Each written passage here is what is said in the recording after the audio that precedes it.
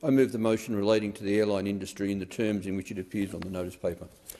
Speaker, it's obviously no secret that Australian airlines have regularly been in the headlines lately for all the wrong reasons, like unfair pricing practices, poor communications with customers, advertising fares for cancelled flights and frustrating flight delays. Indeed, in its recent report on domestic airline competition in Australia, the ACCC reported that service reliability remains a significant concern. And no wonder, when just in December last year the industry cancelled more than 2,200 flights, or 5 per cent, which is more than double the industry long-term average.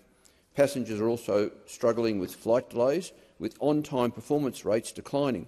Indeed, just 63.6 per cent of flights arrived on time in December. What's even more frustrating is that these poor results are often the consequence of problems within the control of the airlines, with the ACCC pointing the finger at airlines' management of systemic issues associated with the pandemic, pilot shortages, pilot training bottlenecks and some supply chain disruptions. To be clear, my criticism is not directed at frontline airline staff. Indeed, most staff are among the best in the world, as I experienced just last week on my short trip to London for Julian Assange. No, my criticism is directed squarely at airline management and the terrible decisions they've been making to maximise profit at the expense of all else. Deputy Speaker, plenty of constituents have contacted my office about all this, sharing stories of delayed or cancelled flights and the financial burden that comes with that, as well as evidence of unfair pricing practices and poor communication from airlines. For example, one constituent told me about a flight he and his wife booked to Perth with Virgin late last year. The boarding time came and went, and it was not until one hour after the scheduled departure that they were advised the flight was cancelled.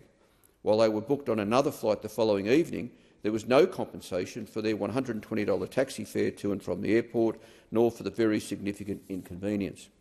Another constituent was out of pocket about $700 when Jetstar cancelled her flight at the last minute. She lost more than $500 just on the rental car and airport parking and was told by Jetstar that, uh, in no uncertain terms that the airline won't compensate these pre-booked expenses.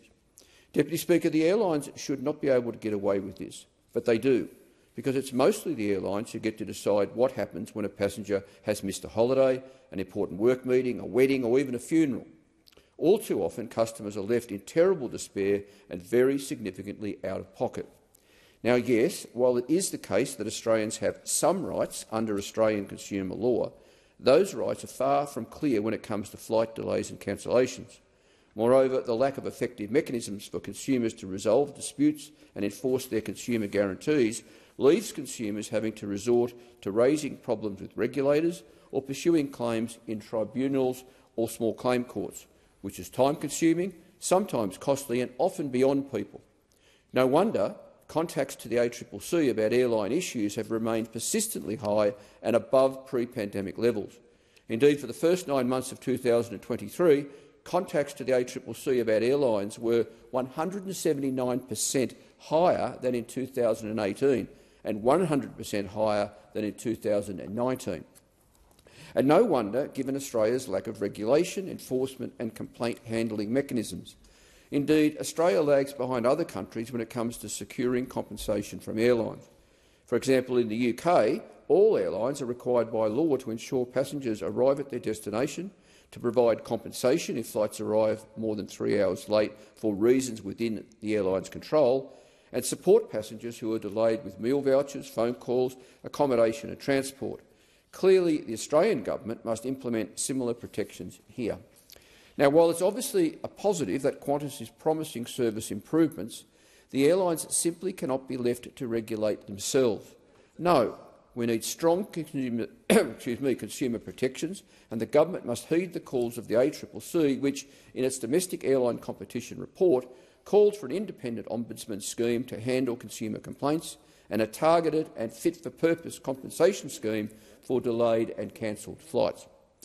Only then, Deputy Speaker, will Australians have confidence that they will not be unreasonably out of pocket for flight disruptions and, if they are, that there will be appropriate mechanisms to, in place to help navigate the system. I thank you, Deputy Speaker.